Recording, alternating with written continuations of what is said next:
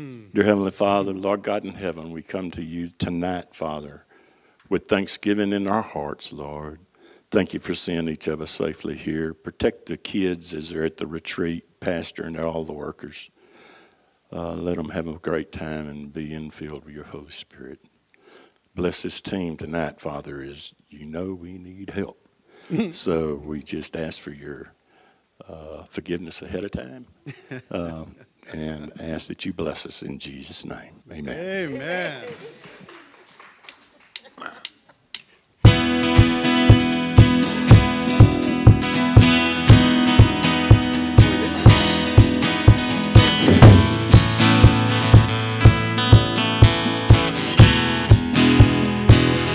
Okay. Open the eyes of my heart, Lord. Open the eyes of my heart. I want to see you. I want to see you. Open the eyes. Open the eyes of my heart, Lord. Open the eyes of my heart. I want to see you. I want to see you.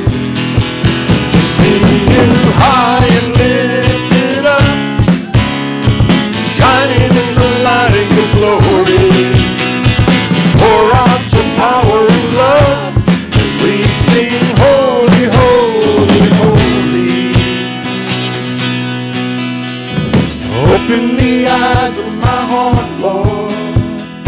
Open the eyes of my heart. I want to see you.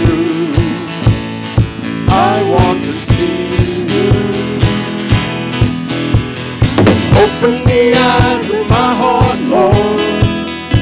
Open the eyes of my heart. I want to see you.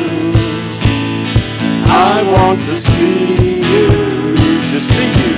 To see you high and lifted up shining in the light of your glory.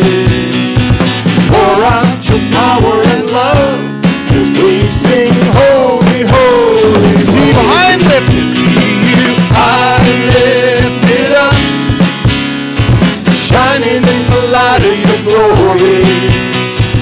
Pour out your power and love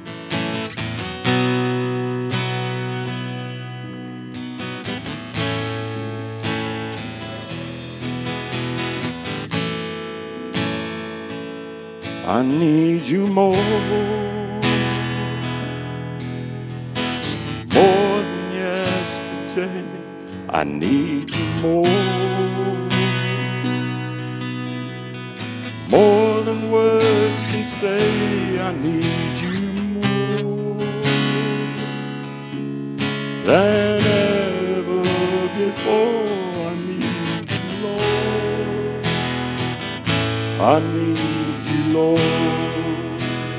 I need you. I need you more. More than yesterday. I need you more. More than words can say. I need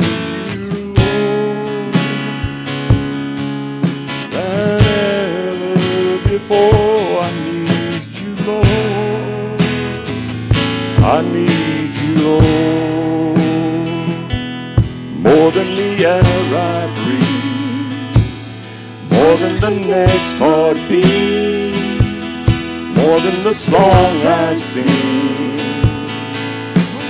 more than anything as time goes by. I want you by my side. Cause I never wanna go back to my old life.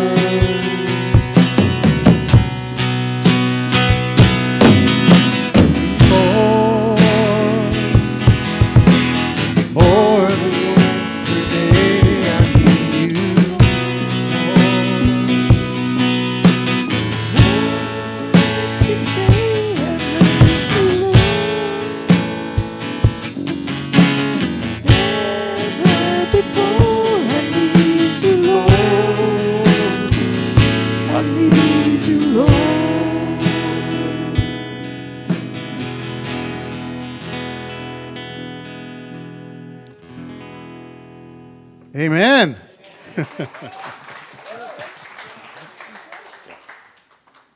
yeah, y'all can be seated.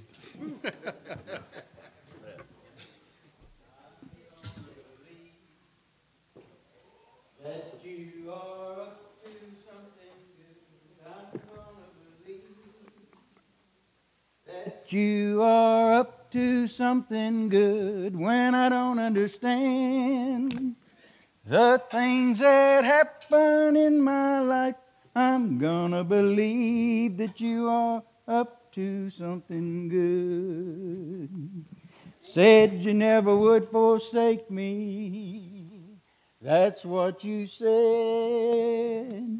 And through the fire I will take thee. That's what you said.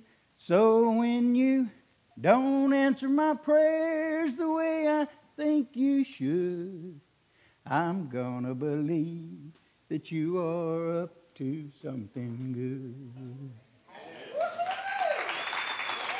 You know, uh, I talked about this a little bit before, and I don't think I told the whole story. When I was in prison, we used to have to walk about two football fields to go down to, to the mess hall. And when you first get in prison, they put you in what they call a quarantine. They, they check you out and everything. And I can remember we're in white jumpsuits, and I can remember standing out there against the wire, seeing this old man walking down the bowling alley. Bowling alley is about a mile strip of concrete, and all the buildings are just sitting on it. And that's it's how you made your way. You stayed in between the lines, and you went from building to building. If you were ever going nowhere, you didn't get out of line. And I seen this little old man walking, and he's walking like this. I said, man, I'm standing up against wire. I said, what is this dude doing here in prison? This dude gonna mess around and get killed, you know? And we went in and we went to chow. We walked about a block and a half, two blocks down there, and we hit chow. We came in, and you go through a chow line, you get your plate, you go sit on a hot table, and by the time that line fills up behind you, it's time for you to get up and get out. And uh, so we eat and we get out and we go back, and I'm standing on the bowling alley and I look down, and he's still going just like that. I'm thinking, man, what is that old dude doing in a prison? Well, about a month later, I got transferred into a dorm, and a couple of weeks after that, I finally got to go to church. You had to, when they hollered church, you had to beat it to the door, man. You had to be the first one in line because they only let seven money go out. And uh, I finally got, I finally got on, got hip to the game, and, and got there on time, and I got to go to church. And I'm sitting on the front row, man. I want to get me some Jesus. And I'm sitting on the front row, and the choir singing and everything.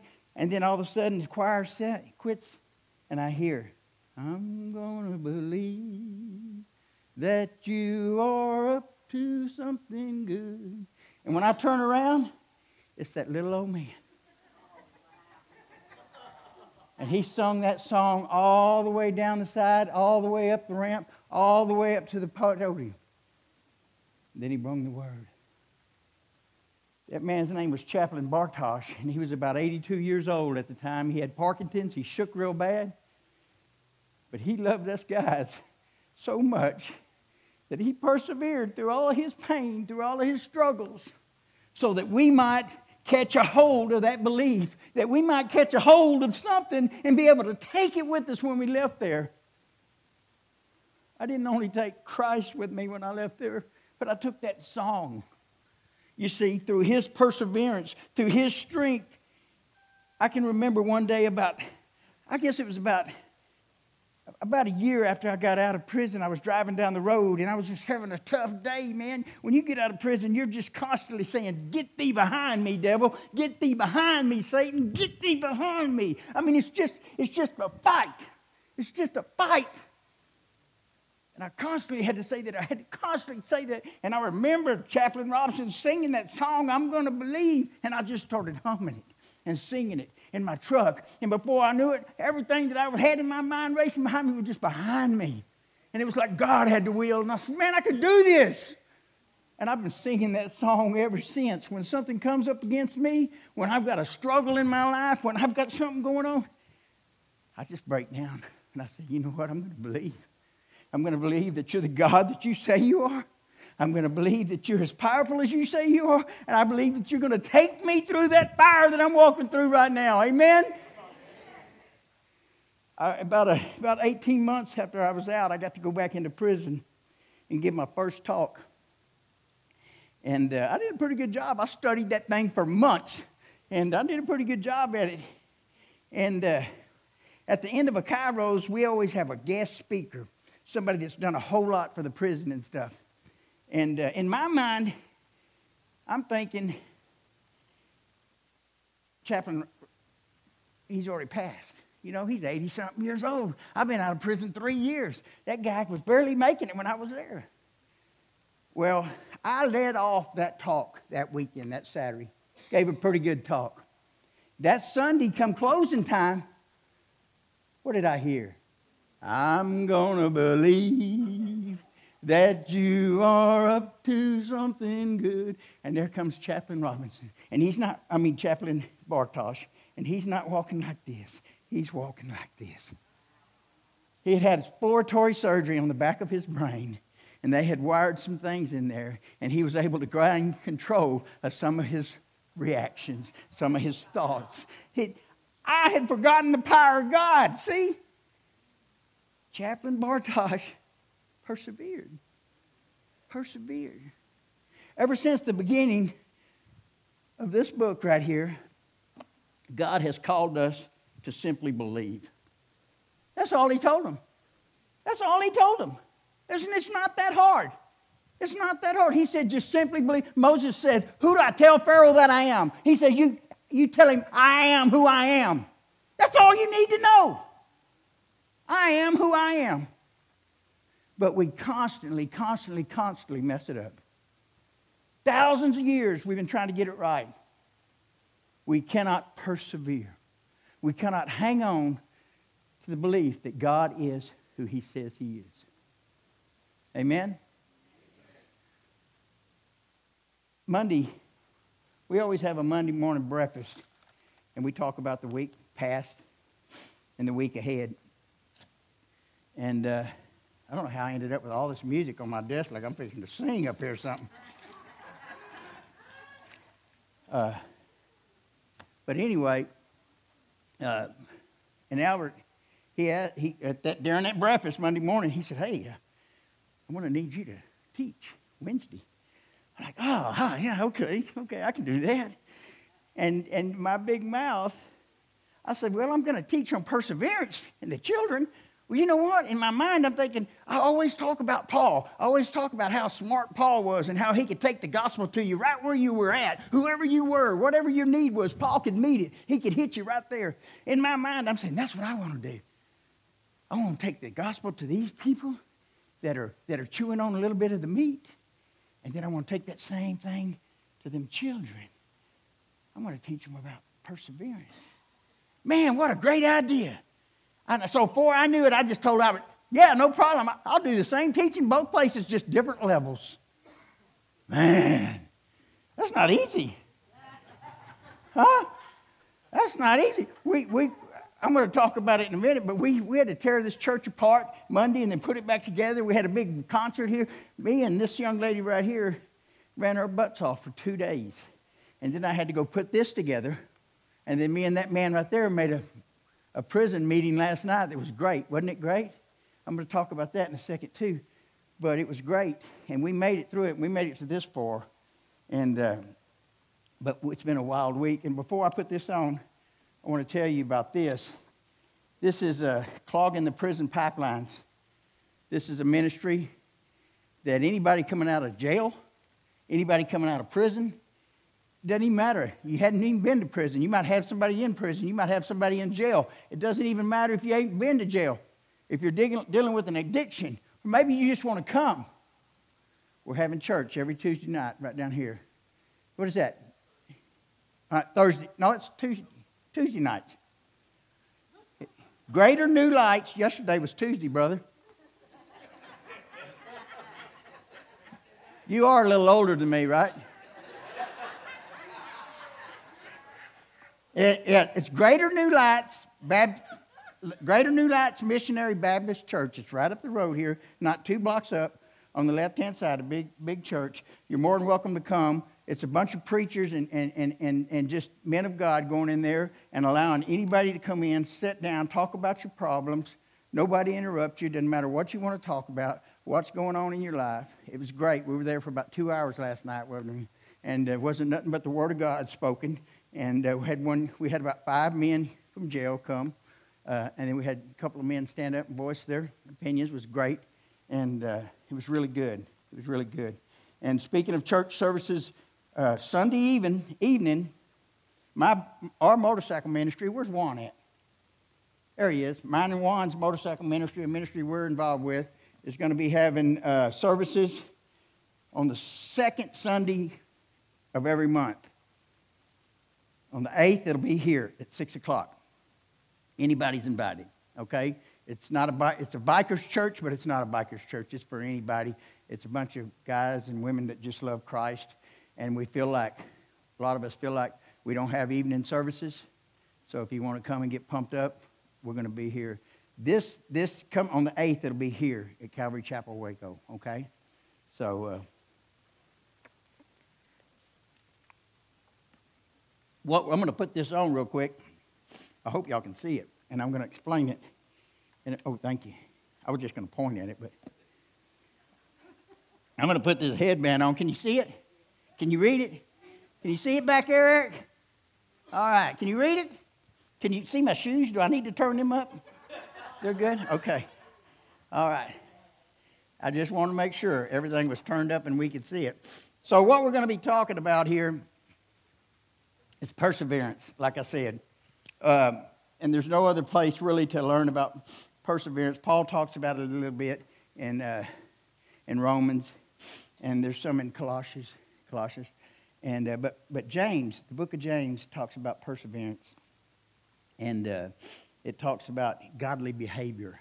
There's not a whole lot of, there's not a whole lot of, uh, of doctrine in there about how you're saved or what, how do you get saved or where do you go about, but there's a whole lot of godly behavior. Uh, so uh, there was four men. I'm going to start right here. There was four men uh, in the New Testament named James that were candidates for the authorship of this epistle, uh, but nobody more likely than the half brother of Jesus. Now, uh, James, the half brother, and I say half brother because who was Jesus? He was God's son, wasn't he? Yeah. So uh, they're his half brothers. He had, and James didn't really believe in him. Uh, you can see that in you can see that he's his brother in, cha- in, in John chapter seven five, and then uh, he starts believing in 1 Corinthians five seventeen. After the resurrection, he starts believing in him, and you see that in Acts 12, 17, 15, 13, and 21, 18. They called him James the Just because he, he followed, he was so much after righteousness. He just, he, he just believed so much in righteousness. Matter of fact, I think that's what, what got him killed. He was martyred in, in AD 62. He was stoned to death, which was a capital punishment. Uh, and you can find that in Acts uh, chapter, well, in Acts chapter 15, he wrote, a, he wrote another letter in Acts chapter 15. Uh, and, and the book of James was written 44 AD to 49 AD, somewhere in there. It's the earliest written book in the New Testament. And like I said, it's, it's a book full of, of godly behavior. Um, teaches you how to persevere. So we're going to look at persevere here for a second, real quick. And at, first of all, I want to say this. If any of my slides are out of track, where's Lori? Where's she at? we're going to get her right there. Lori helps me put this together on my slides and stuff, and uh, we kind of got confused a little bit while ago. But perseverance, uh, perseverance, steady, persistent in a course of action. You dig that? Per, steady persistence in a course of action, a purpose, a state, etc. Especially in the in spite of difficulties, obstacles, disencouragement. How many of us have been told that we're believing a bunch of junk? Huh? How many, how many of you been told, ah, you believe that junk? Huh? You believe that junk? You got to hang on to it, man. You got to hang on to it. And theologically, it can uh, continuous in a state of grace to continuous in a state of grace to the end, leading to what? Eternal salvation. Huh? That's what me and you are standing, standing the course for. You know, the Roman, when Paul's day and James's day, uh, uh, the Roman soldiers were everywhere. They wore all this, this armor and everything, but on their shoes, they had shoes that had spikes on them. Okay? And they would dig them shoes in, and they'd put that shield up, and they were steadfast. They wasn't going nowhere. You wasn't kicking them down. You wasn't knocking them down. They were just solid. That's the way we have to be in our relationship with Christ, okay? You and I can't be, we can't fidge a little bit. We can't turn a little bit. See, when I give the devil a little bitty toehold, guess what? He's got that whole foot in there. And you know what? Next, he's got me out of the way. And I'm just going, oh, what the heck happened? Or I find myself sitting on a hot bunk in prison somewhere. So we can't compromise at all. We have to persevere. We have to persevere. Uh, I got to make sure I'm on the right page here. All right. So if you want to turn to your Bibles to the book of James, I'll give you a minute to get there. We're going to get started here. When you're there, just holler, Amen. Amen. Jerry?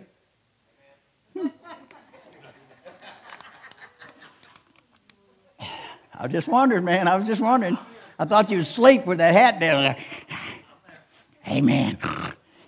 All right, James 1. James, bondservant of God and the Lord Jesus Christ, to the 12 tribes which are scattered abroad, greetings. Now, James is saying, James, a bondservant of our Lord Jesus Christ. Anybody know what a bondservant is? I've taught this before, but this is cool, man. When God showed me this, I thought it was so cool. Do you know what a bondservant is? A bondservant was somebody that had a debt, okay? And they couldn't get out of that debt. So they had to go be a slave for somebody else. They had to literally just give their life to somebody else, and he, you just do whatever. Well, then that bondservant, when he finally got his debt paid off, he got to thinking, hey, man, my life with this guy's pretty good. I just, I think I want to be your servant forever. And they would take him over to the door of their house and they'd run an oar through their ear, knock a hole in it, and then they'd put a gold ring in it. And that gave him status above all the others. It gave him status above all the others. You know, that's exactly the way God wants you to come to him. He wants you to be his bond servant. He wants you to come to him on your own and just follow him completely. Give him your all in all. When God showed me that, I was like, oh man, I try to give it to everybody I can. You've heard me say, when I, when I get something, I want to give it to somebody. I want something to take it, give it to somebody else. James, a bondservant of God and our Lord Jesus Christ. The 12 tribes scattered abroad. The 12 tribes, he's talking about the Hebrew people. You know that because Jesus said that in Matthew 24. He talked about the 12 tribes being the, being the Hebrew people, the Israelites, which are scattered abroad scattered abroad, mostly talking about, probably talking about either the martyr of Stephen, uh, which you can see in Acts chapter 7, where they scattered, but most likely it's talking about Herod Agrippa, where in uh, 31, 34 AD, he started persecuting the Christians, and that probably scattered them everywhere because he said scattered abroad, and they moved on everywhere. James, a bondservant of God and the Lord Jesus Christ, to the 12 tribes which are scattered abroad, greetings. My brother, count it all joy when you fall into various trials. Man, does that make sense to anybody? Huh? I'll tell you what, my brother, count it all joy when you fall into various trials. In this epistle, James, uh, James talks, it says the brother in 15 times in this epistle, re- referring to believers, people just like you and me.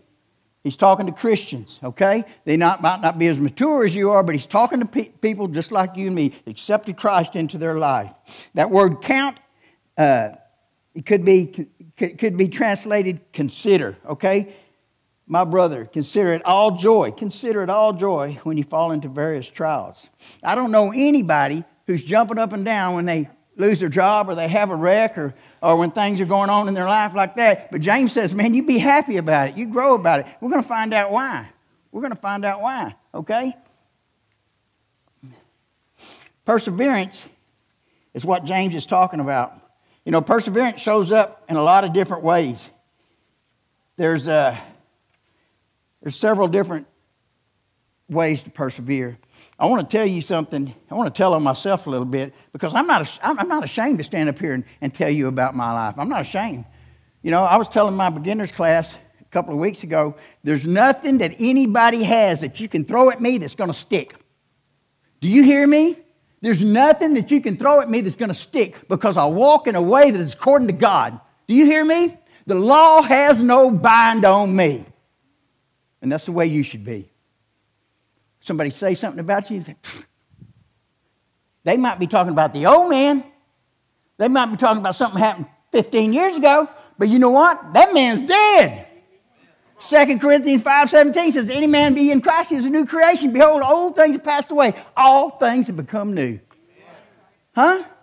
We got to learn how to walk in that. We got to learn how to live that. Okay? I got this bandana on for a reason. You know, trials and tribulations comes in a lot of different ways. I told you we had a party here Monday night. I was here from 7, about 7.50 till 9 something that night. And I was tired. I was tangry. yeah, tangry. I was tired and I was angry. And uh, I kind of chewed on Chrissy a little bit. I didn't chew on her, I just kind of nibbled on her a little bit. And, uh, and uh, that's okay. That's all right because I'm big enough in my walk to say I'm sorry. And she's big enough in her walk to say, I know. And, uh, and we'll go on about it. But anyway, everybody was gone. We finally got everybody out of here. And there was one guy back here, just had to see, uh, what's his name? Brian uh, Tre- Trejo? Trejo? Brian Trejo. He just had to see him, had to see him. So I walked past it and I let it go. And I went and came again, but he just stayed and he stayed and stayed. And finally, I went back and asked security. I said, You want me to do something about it? He said, I got it, brother. I said, Okay. So five more minutes go by. And that's when I went back and me and Chrissy had our deal. And uh, it was really me, wasn't Chrissy. She wanted to pray for me. And I said, No, I'm good. I said, You know, anyway, I should have let her pray for me. But anyway, I go back out, and this guy's leaning up against the wall here. And I said, Man, I'm fixing to handle it. He goes, No, he's leaving. So the guy left. And uh, so I went out, and I, and I, because Brian Trejo had his entourage out in that little building out there, AC blowing. They had food out there, they had water out there, they had all that stuff out there. And uh, I'm going to knock one of these off here in a minute because I get excited sometimes. Um, and I went back there and I knocked on the door, and uh, and I opened it, and they were all in there doing the thing. He's sitting over on the couch with his phone. I said, Hey, man, check it out. I said, My name is David Ochoa. I'm an assistant pastor here. Man, we got all the kids inside waiting to take a picture with you. I'd appreciate it if you could hurry up. And he says, Oh, man of God, brother, I got you, man. Because that's how that's how they that's how they talk, you know. And he, oh man of God, I got you, brother. And when he said, Man of God, it fell right all off of me. It fell right off of me. You see? You see, all of us ought to have this on our head. We ought to have that tattooed on our head. You see this shirt? This is my second one. We ought to have this stuff tattooed on our head because when we start acting the idiot, somebody can go, mm-hmm. See that? Huh? Be real. Be real. Don't sit there like you're perfect. Oh, yeah, that's him. Bible, Bible says that he that says he has no sin is a what? That's right. That's right. And the truth is not in him, is it? That's right. Every one of us lose it every once in a while. Perseverance and, and, and troubles come to us in all different kinds of ways. Do you understand what I'm saying? It ain't just the big things in life, it's the little things. I have some friends that are going through heck right now with their kids. And, and their kids might not be Christians, and they're Christians. And some of them are new Christians, but they're persevering through it. Do you hear what I'm saying? They're doing the only thing they can do, and that's trust God. Trust that God is who He says He is, and that He's going to walk them through that. And just understanding that whatever happens, it happens. It happens. But it's God that's going to lead us through it, guide us through it, direct us through it. Huh? Man, we were talking, I was talking to Mark yesterday, and he was talking about this Brian Trejo, Tre, uh, how do you? Trejo. He was talking about Brian, and, and I'm not trying to make fun of him. Not, he was talking about uh, how this guy, he's a rapper, and he made a song about his brother getting killed. His brother got killed. And his mom, all his mom wanted to do was persecute that guy. He just wanted, his mom just wanted to persecute him, persecute him, persecute him. And all Brian wanted to do was see if this guy could find salvation through his Lord Jesus Christ. Huh? Huh? Is that perseverance? Is that pushing through? Is that walking through it? Is that allowing God to say, You just get out of the way and let me handle this? And here I am. I get a little tangry. I think we all need shirts like this. This is my second one. This, when I was when I was before I came to Christ, I used to wear Budweiser and weed shirts and everything else, you know. Yeah. I did. But when I came out of prison, I wanted to represent. And that's what each one of us need to do. We need to represent Christ all the way. All the way. I don't know what that is, but I'm about to trip over it. I don't think we got them yet. Yeah, we need to represent. We got a lot of people here that are persevering, pushing through a lot of stuff, a lot of little stuff, a lot of big stuff. I seen a couple the other day in the back. I'm not going to mention them, but they're going through the same things in their life with some of their kids and some of their grandkids. And they were persevering together and they didn't even know it. They were working it out together and they didn't even know it. They were sharpening that iron together and they didn't even know it. Do you hear what I'm saying? Huh? They were representing Christ and they didn't even know it. Huh? I don't do that all the way, all the time, the way I should. I don't do that all the way, all the time, the way I should. I think that think that all we all need to read the book of James and learn how to act. I think we all need. You know, this uh, Chaplain Bartosh, I seen him give a guy a Bible one time, and I said, "Hey, I want one of the Bibles." He said, "Well, do like him and and study the whole first chapter of James and memorize it and come in here and tell me." Man, it took me two months walking around our dorm. just studying James, just studying James. And then I'd get it wrong. I'd have to run to my book, open my Bible, and I'd walk around. And, and I got it down. I got me a Bible. I got me a nice Bible. Yeah. Yeah, I sure did. My brother, count it all joy when you fall into various trials, knowing that the testing of your faith produces patience knowing that the testing of your faith produces patience. This is where your joy is coming in. This is where your happiness is coming in. In 1 Peter 1 7, it tells us that the genuineness of your faith, the genuineness of your faith, being much more precious than gold that perishes, but it is tested by fire, may be found to praise, honor, and glory at the revelation of Jesus Christ. That's where your happiness comes in. That's when your joy comes in, when he stand before him and he says, Good job, my son. That's your joy. I learned from my mistakes, and you've got to learn from yours too. I talked about some of, the, some of the people pushing through it and how some of the ladies was out there talking. They were sharpening iron. You know what? what? What I go through and all my struggles and all my pains, I seen my brother David Stevenson. I seen him help just walk Mark through it. Just, just God, just he, he might not even have to say nothing. He just might just sit there with him. He might just cry with him. He, he, but through his loss, he was able to comfort another one. Do you understand what I'm saying? Through my pains, through my suffering, I might ease some of yours. That's where your joy comes in. That's where your peace comes in. And then when you stand up here and you're standing before Christ, and He's going to say, Good job. Good job. He's probably going to thump me on the ear and say, That's for Chrissy.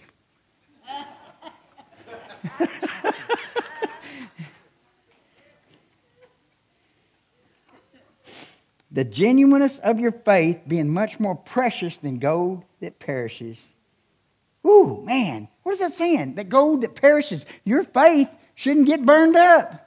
Huh? Huh? Gold that perishes.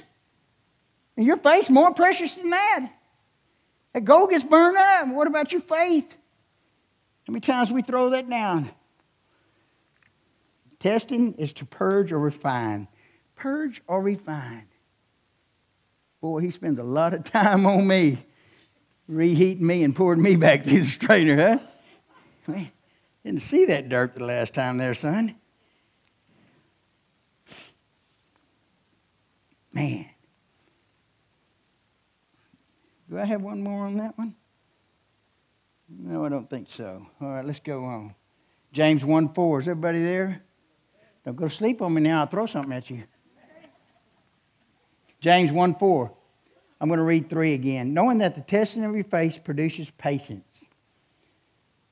But, the, but let patience have its perfect work. What? That you may be perfect and complete, lacking in nothing.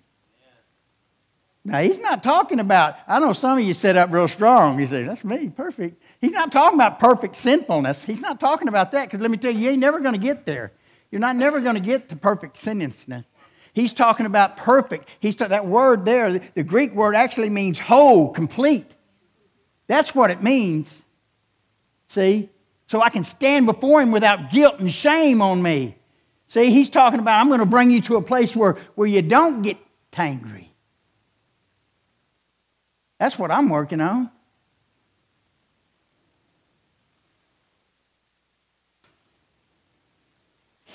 Let's see what he says here. I think I have one. But let your patience have perfect work, that you may be perfect and complete, lacking nothing. Spiritual maturity is what he's trying to bring us into. James 3 2. For we all stumble. Huh? What about that guy that says he has no sin? For we all stumble in many things. If anyone does not stumble in, in word, he is a perfect man. He is a complete man. That's what he's talking about. Able to abide the whole body. Who can do that? Let's see a hand. Who can hold back that whole body? I don't have a taker. That's some tough stuff right there. Huh? James wants to teach you how to walk. James wants to teach you how to walk in a way that is suitable to God. It's not that hard to do, but it is that hard to do. Does that make sense? Paul says, I do what I know not to do, but what I know not to do, that I do. Oh, what a wretched man I am. That's what Paul says. Man. James says we can do it.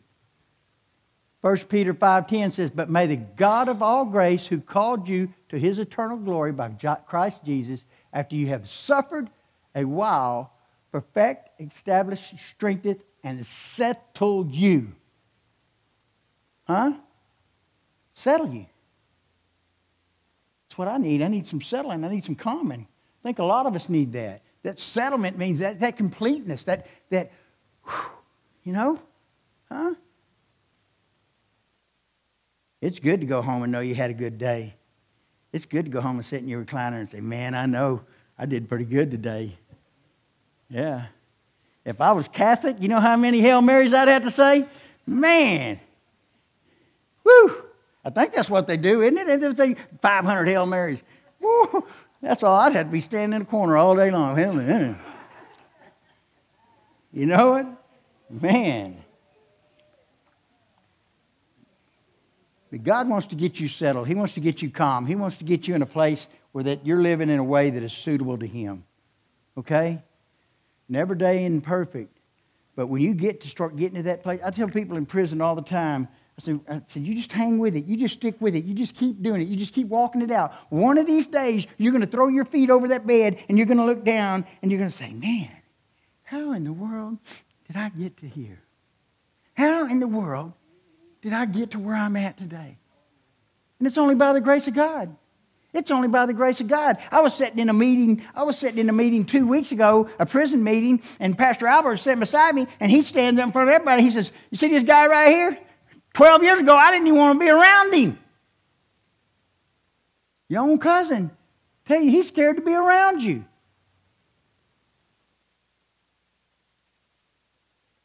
That's a shame, man.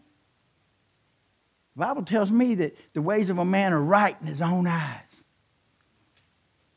Yeah, I never knew that I was crazy. I never knew that I was wild.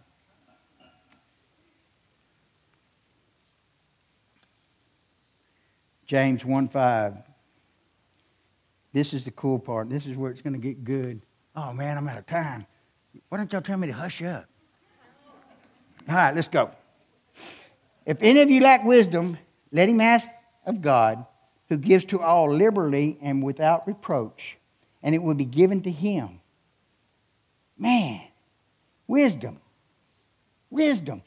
He's not talking about that you be the smartest person in the room. He's not talking about you be Mr. It. He's talking about you being able to walk in a way that is suitable to God. He's acting that you understand how to apply all God's knowledges in your life so that you can be clean and unspotted in the day of Christ.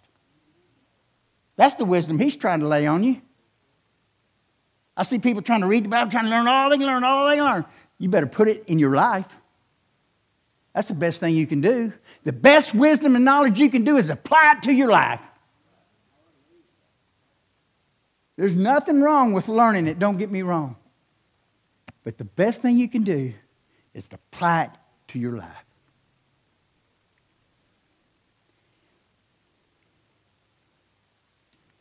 Uh-oh. James 3:13. Who is wise? Huh, I asked you that a while ago. Who is wise? And understanding among you. Let him show by good conduct that his works are done in the meekness of wisdom. James 3:14 just a couple of chapters over says, "But if you have bitter envy, self-seeking in your heart, remember that word heart, do not boast and lie against the truth."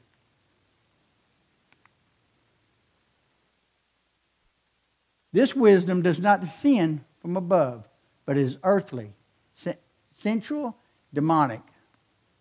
James 3:16 For where envy and self-seeking exist, confusion and evil things are there. But the wisdom that is from above is first perfect, then peaceful, gentle, willing to yield, willing to yield. I can't, I, it's hard for me to do that. I'm learning that. I'm learning how to turn the other cheek. It's hard for me to get hit on this side and not hit back. But I'm learning. I'm learning. That's the trials and tribulations that you go through. That's the joy that you get out of it. Because one day I'm going to be able to control it. One day I'm going to be able to hold on to it. Peaceful, gentle, willing, willing to yield, full of mercy and good fruits. Will of mercy and good fruits. Trust in the Lord with all your heart and lean not on your own understanding. I'm going to let that because we all know that. I'm going to try to get us somewhere. I've got a couple of minutes here. So we see, we see that we see that James is talking about wisdom. Do we not see that James is talking about wisdom? He's, he's telling you the way that you get through them trials and them tribulations, the way you get through all that suffering, all that pain that you're going through, you just lean on the Lord and learn to let Him guide your path. That's the wisdom James is talking about. We're about out of time. They cut me short because last time I ran 15 or 20 minutes over.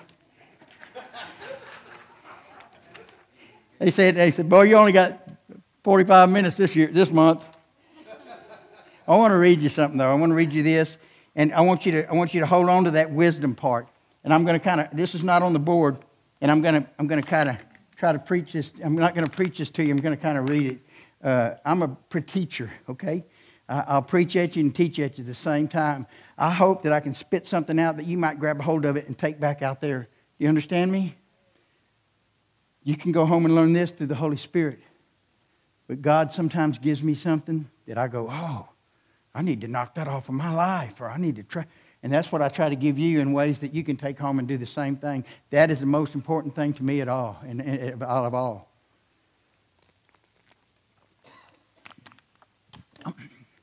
I'm, I'm going to teach this on next time I preach on Sunday. I'm going to teach this, but I want to read this to you because we're talking about faith and we're talking about wisdom. We're talking about the knowledge of God inside of us, taking everything that He teaches us to do and then learning how to do it.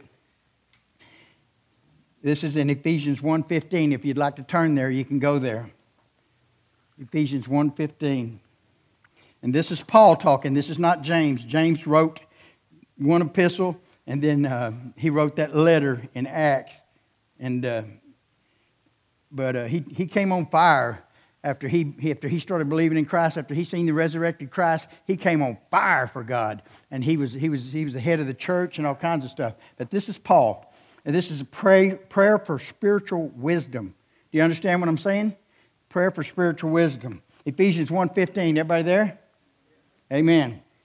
Therefore, also after I heard of your faith in the Lord Jesus and your love for all the saints, do not cease to give thanks for you, making mention of you in my prayers, that the God of our Lord Jesus Christ, the Father of glory, may give to you the spirit of wisdom and revelation and the knowledge of Him. Do you understand what I'm talking about? This is what you ought to be praying for your kids for. This is what you ought to be praying for your brother in law that's a drunk. That's what you ought to be praying for your kids that are on drugs. That's what you need to be praying for your husband for, that he come into the full wisdom and revelation of knowledge of Jesus Christ.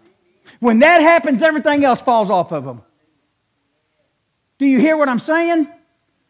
When they grab a hold of that and they've got it, everything else falls off of them just like water off a duck's back. Huh? Did Paul know what he was talking about?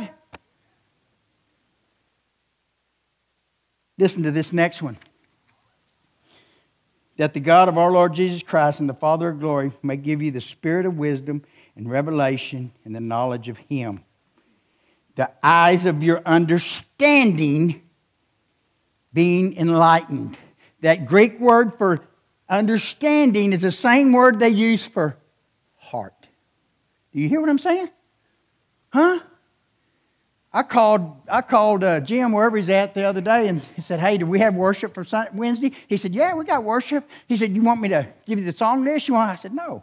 I trust the Lord. Whatever he's going to have sing, what, y'all sing whatever he has. What was the first song they opened with? Open the eyes of my heart, Lord. Open the eyes of my heart. I want to see you. Paul sung that 2,000 years ago. 2,000 years ago, he says, The eyes of your heart, the eyes of your understanding, being enlightened that you may know what is the hope of his calling, what are the riches of the glory of his inheritance. Huh? What a way to pray for somebody. Huh? I got about two minutes left. And I want everybody just to gather right here. I want everybody to come right here. And I just want us all to put hands on each other. And I want us to stand as a church. I want us to stand as a body, one together. And everybody just put a hand on somebody and we're going to pray.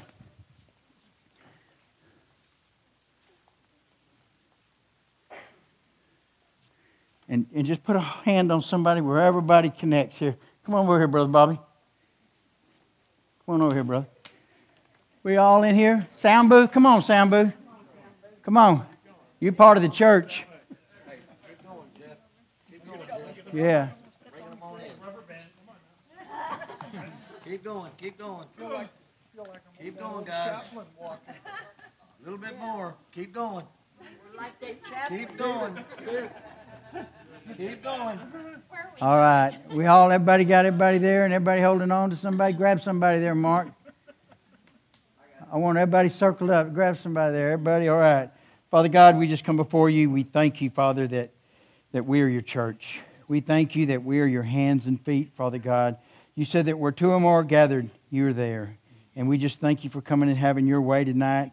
Father, we pray over each one of us here. We pray that you will enlighten us, Father God, that you allow the spirit of wisdom to fall on us, that we may come to the full knowledge of your Son, Jesus Christ, Father God. Help us, Father God, represent who we are in you, Father God.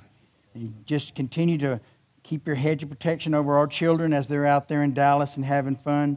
Father, we just pray the same prayer over them that they might come to the full knowledge and wisdom of you, Father. We thank you for all that you do, and we continue to ask your guidance throughout each phase of our life. And we give you all praise and glory in Jesus' name. Amen. Amen.